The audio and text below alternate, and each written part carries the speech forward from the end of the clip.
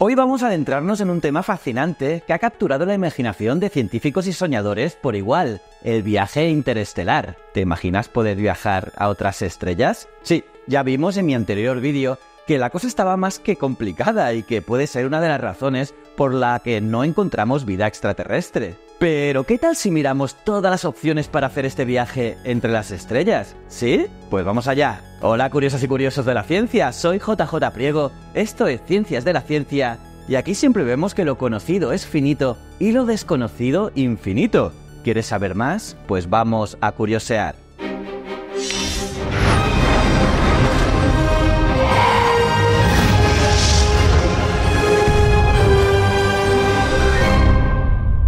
Hoy vamos a embarcarnos en un viaje extraordinario hacia las estrellas, explorando las posibilidades del viaje interestelar. Imagina un futuro donde viajamos a otros planetas como el nuestro, utilizando tecnologías avanzadas que podrían estar a nuestro alcance más pronto de lo que pensamos. Estaría guay, ¿no? Entonces, ¿es posible? Pues resulta que esta pregunta se está convirtiendo en un tema serio de debate entre científicos, ingenieros y futuristas. Pero primero, necesitamos entender las inmensas distancias que estamos considerando. Las estrellas están tan lejos de nosotros que incluso la luz tarda años en llegar. Próxima Centauri, la estrella más cercana a nuestro sistema solar, está a 4,22 años luz de distancia. Y a la velocidad de las naves espaciales actuales, tardaríamos decenas de miles de años en llegar allí. Y yo no tengo tanto tiempo. Pero no todo está perdido, no, no. Hay una serie de factores que podrían converger para hacer posible el viaje interestelar en una sola vida. Y vamos a explorar algunos de los elementos clave que podrían hacer este sueño realidad. Uno de los aspectos más importantes es el ritmo de los avances tecnológicos. Es muy rápido. En los últimos 100 años hemos pasado de los primeros vuelos tripulados en la Tierra a aterrizar humanos en la Luna, poner robots en Marte y enviar sondas más allá de los límites de nuestro sistema solar. Y la tecnología sigue avanzando a un ritmo exponencial y esto incluye la propulsión espacial. Otro punto importante es la curiosidad humana y el impulso por explorar lo desconocido, que han sido fuerzas motrices desde que nuestros ancestros dejaron África. Y este mismo impulso podría llevarnos a las estrellas. La ciencia se nutre de la curiosidad y el deseo de responder preguntas fundamentales sobre nuestro lugar en el universo. ¿Estamos solos? ¿Qué otros mundos existen? Estas preguntas podrían motivar la inversión y el esfuerzo necesario para hacer posible el viaje interestelar. Pero vamos por partes. En primer lugar, la energía y la propulsión son los pilares fundamentales de cualquier misión espacial, y aún más cuando se trata de viajes interestelares. La enorme distancia entre las estrellas requiere tecnologías de propulsión que puedan proporcionar una velocidad significativa y también fuentes de energía que puedan sostener estos viajes prolongados. Entonces, ¿cómo se aborda este problema de la energía y de propulsión? Porque claro, conseguir esta inmensa cantidad de energía requerida es el principal desafío de cualquier viaje interestelar. Para llegar a esas distancias tan vastas se necesitan fuentes de energía y métodos de propulsión que superen con creces lo que actualmente utilizamos para misiones espaciales dentro de nuestro sistema solar. Pensad que la energía necesaria para propulsar una nave a una fracción significativa de la velocidad de la luz es enorme. Para ponerlo en perspectiva, acelerar una nave de una tonelada a solo el 10% de la velocidad de la luz requeriría aproximadamente 450 petajulios de energía. Para que veas, estos 450 petajulios equivalen a la energía liberada por alrededor de 7.200 bombas atómicas de Hiroshima. ¡7.200! Y ojo, que si se desea desacelerar la nave al llegar a su destino, la energía requerida debe duplicarse, ya que se necesita la misma cantidad de energía para detener la nave que para acelerarla. O sea, un rollo. Y claro, la propulsión química tradicional tiene sus limitaciones. Los cohetes químicos tradicionales, como los que hemos usado para llegar a la Luna y Marte, no son viables para el viaje interestelar. La ecuación del cohete, que es la que describe cómo la velocidad de escape depende de la velocidad de los gases de escape y la masa del combustible, muestra que necesitaríamos un tanque de combustible mayor que, alucina, todo el universo observable para alcanzar velocidades cercanas a las necesarias para viajes interestelares. Sí, sí, un depósito de combustible más grande que el universo. Flipa, ¿eh? Entonces, ¿qué tecnologías podrían lograr nuestro objetivo? Pues bien, hay varias tecnologías emergentes que podrían revolucionar nuestra capacidad para viajar entre las estrellas. Vamos a profundizar en algunas de ellas. Empecemos con el M-Drive, también conocido como el propulsor de cavidad resonante RF o el motor imposible, un concepto de propulsión que ha generado mucha controversia y debate en la comunidad científica desde que fue propuesto por el ingeniero británico Roger Shawyer en 2001. La idea central detrás del Endrive es que podría generar empuje sin la necesidad de utilizar ningún tipo de combustible convencional. El principio de funcionamiento es el siguiente. El M-Drive funciona al aprovechar las microondas, que son ondas de radio de alta frecuencia. En términos simples, el dispositivo consiste en una cavidad resonante cónica en la que se hace rebotar estas microondas. Según Schauer, las microondas al rebotar dentro de esta cavidad generarían un empuje en una dirección sin la necesidad de expulsar masa hacia atrás. Y esta es la principal razón por la que el M-Drive es tan controvertido, ya que parece violar una de las leyes fundamentales de la física, la ley de conservación del momento. Según esta ley, para que un objeto se mueva en una dirección, debe expulsar masa en la dirección opuesta. En otras palabras, los cohetes funcionan expulsando gas caliente hacia atrás para impulsarse hacia adelante. El Endrive, al no expulsar masa, desafía esta comprensión básica de cómo funcionan las cosas. Y sí, varios experimentos han intentado medir el empuje del Endrive con resultados mixtos. Algunos investigadores, incluyendo un equipo de la NASA conocido como EagleWorks, afirmaron haber medido un pequeño empuje en sus experimentos. Pero estos resultados fueron cuestionados por posibles errores experimentales y por no poder ser replicados consistentemente por otros equipos independientes. A día de hoy, no hay consenso en la comunidad científica sobre la viabilidad del Endrive.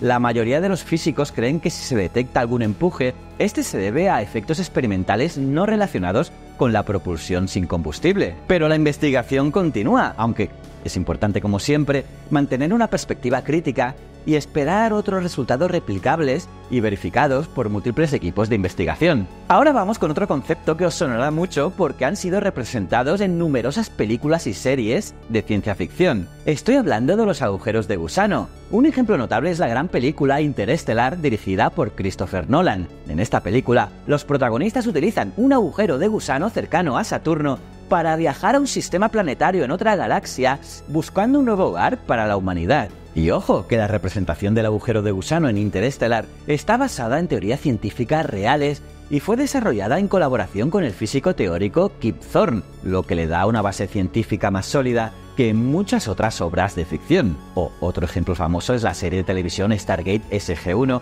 donde un dispositivo conocido como Stargate crea agujeros de gusano artificiales que permiten viajes instantáneos entre diferentes planetas. Y aquí, aunque la representación es más ficticia, popularizó el concepto de agujeros de gusano y lo introdujo a una audiencia más amplia. Pero bueno, a ver, ¿qué son realmente los agujeros de gusano? Pues bien, estos son uno de los conceptos más fascinantes y especulativos en la física teórica. Propuestos inicialmente por Albert Einstein y Nathan Rosen en 1935, los agujeros de gusano, también conocidos como puentes de Einstein-Rosen, son hipotéticas estructuras que conectan dos puntos diferentes en el espacio-tiempo, creando un atajo que podría permitir viajes interestelares e incluso intergalácticos más rápidos que la luz. Imagina el espacio-tiempo como una hoja de papel. Si dibujas dos puntos distantes en el papel, la forma más rápida de conectarlos es doblando el papel y perforándolo con un agujero. Esta analogía simplifica el concepto de un agujero de gusano, una estructura que une dos puntos distantes del universo, permitiendo que un objeto viaje de un punto a otro más rápido de lo que haría atravesando el espacio en línea recta. Pues resulta que matemáticamente los agujeros de gusano son soluciones de las ecuaciones de la relatividad general de Einstein que describen cómo la gravedad puede curvar el espacio-tiempo. Estas soluciones sugieren que bajo ciertas condiciones extremas, la curvatura del espacio-tiempo podría crear un túnel entre dos regiones del universo. Sin embargo, estos túneles requerirían una forma exótica de materia con energía negativa para mantenerse abiertos y estables, lo cual aún no ha sido demostrado en la práctica. Por lo tanto, aunque los agujeros de gusano son matemáticamente posibles, su existencia en el mundo real aún no está nada clara. Y otro concepto bastante famoso para realizar estos viajes interestelares es el motor de curvatura de Alcubierre, un concepto muy popular en la ciencia ficción, especialmente en la franquicia de Star Trek. En este universo ficticio, las naves estelares utilizan motores de curvatura para viajar a velocidades superiores a la de la luz permitiendo la exploración interestelar y la comunicación entre civilizaciones distantes. Aunque la representación en Star Trek no sigue estrictamente las matemáticas de Alcubierre, ha ayudado a popularizar la idea y a hacerla accesible a millones de personas. Esta idea especulativa en el campo de la física teórica fue propuesta por el físico mexicano Miguel Alcubierre en 1994. Este concepto sugiere una forma de viajar más rápido que la luz sin violar las leyes fundamentales de la física, especialmente la teoría de la relatividad general de Albert Einstein. Pues bien, el motor de curvatura se basa en la idea de que el espacio-tiempo puede ser deformado o curvado de tal manera que permita a una nave espacial viajar a grandes distancias en un tiempo relativamente corto. En términos técnicos, el motor de curvatura crea una burbuja de curvatura en la que el espacio-tiempo se contrae delante de la nave y se expande detrás de ella, es decir, que la nave que se encuentra dentro de esta burbuja se movería junto con el espacio deformado. O sea que desde la perspectiva de un observador externo, la nave parecería moverse más rápido que la luz, pero en realidad este tipo de movimiento no viola la teoría de la relatividad general porque la nave en sí misma no supera la velocidad de la luz dentro de su burbuja local. Es el espacio-tiempo el que se está deformando. Alucina, ¿eh? Y bueno, el siguiente concepto ya os lo mencioné en mi anterior vídeo. Hablo del proyecto Breakthroughs Starshot, que es una de las iniciativas más ambiciosas y emocionantes en el campo de la exploración espacial anunciado en 2016 por el multimillonario ruso Yuri Milner, también el fallecido físico Stephen Hawking y el fundador de Facebook Mark Zuckerberg, este proyecto tiene como objetivo enviar pequeñas sondas a la estrella más cercana Alpha Centauri a una fracción significativa de la velocidad de la luz. Y estas sondas estarían equipadas con cámaras, sistemas de navegación y comunicación y serían impulsadas por velas ligeras conocidas como light sails. Y para hacerlo, primero se lanzaría una nave nodriza que transportaría miles de Starships al espacio. Y una vez que estén en una órbita adecuada, estas pequeñas sondas se desplegarían y se acoplarían a sus respectivas light sails, y después desde la Tierra se utilizaría una serie de potentes láseres situados en una matriz gigante para enfocar haces de luz en las light sails. Y la presión de radiación de estos láseres aceleraría las sondas a velocidades extremadamente altas